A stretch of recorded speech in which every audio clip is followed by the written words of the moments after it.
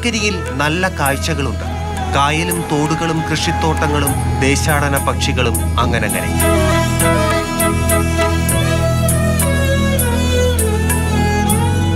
ഒരു വശത്ത് സർക്കാർ ഈ പ്രദേശത്തെ ടൂറിസം കേന്ദ്രമാക്കാൻ മുൻകൈയെടുക്കുമ്പോൾ മറുവശത്ത് പ്രദേശം മാലിന്യം കൊണ്ട് നിറയുകയാണ്.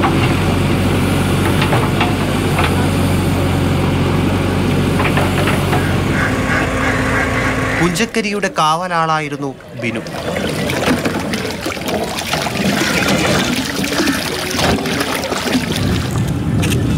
സ്വന്തമായി നിർമ്മിച്ച ബോട്ടിൽ പുഞ്ചക്കരിക്കായലിലെ മാലിന്യങ്ങൾ നീക്കും.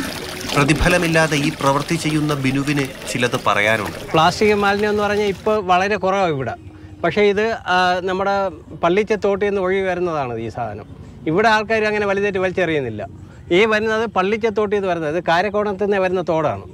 ഇതിനകത്തുനിന്ന് ആരോ വലിച്ചെറിഞ്ഞാണ് ഇതിപ്പോൾ ഇവിടെ ഇങ്ങനെ എത്തിയത്. എന്നാൽ വിവിധ ഏജൻസികൾ പലയിടങ്ങളിൽ നിന്നും ശേഖരിച്ച് പുഞ്ചക്കരിയിൽ എത്തിക്കുന്ന മാലിന്യങ്ങൾ യഥാസമയം സംസ്കരിക്കുന്നില്ലെന്നാണ് പ്രദേശവാസികളുടെ പരാതി. തിരുവനന്തപുരം ജില്ലയിലുള്ള ഈ ഹോട്ടൽ ഈ മാലിന്യങ്ങൾ ഓരോ സ്ഥലത്തും ഹരിതകർമ്മസേന തെരഞ്ഞു വയ്ക്കുന്നതും മറ്റുള്ള ഹോട്ടലിൽ നിന്ന് എടുക്കുന്ന മാലിന്യങ്ങളും എല്ലാം ഇവിടെയുള്ള പുഞ്ചക്കരി വയലിലാണ് നിക്ഷേപിക്കുന്നത്. വെള്ളത്തിലാണ്. ഞങ്ങളുടെ ഈ തോട്ടിൽ ഞങ്ങൾ കുടിച്ച് കോരി കുടിച്ച വെള്ളമാണ് ഈ കിടക്കുന്നത്. മാലിന്യം ഈ വയൽ കംപ്ലീറ്റ് മാലിന്യമാണ്. മാലിന്യമാണ് ഈ ഒഴുകി വരുന്ന ഈ ഊറ. ഇതിൽ വെള്ളമായിട്ട് ഒഴുകി വരുന്നത്.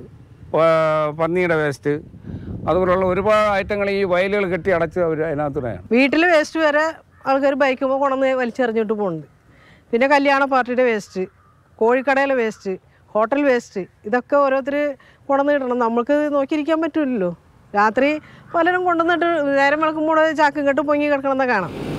മാലിന്യ നിക്ഷേപം മനുഷ്യർക്ക് മാത്രമല്ല പക്ഷികൾക്കും കനത്ത ഭീഷണിയാണ് ഉയർത്തുന്നത്. നല്ല കാഴ്ചകൾ മായ്ക്കരുത്. ദുർഗന്ധം മാറണം. പുഞ്ചക്കരിക്ക് പുതുജീവൻ വേണം. Sudheesh തിരുവല്ലയ്ക്കൊപ്പം T S Harikrishna Mathrubhumi news Thiruvananthapuram.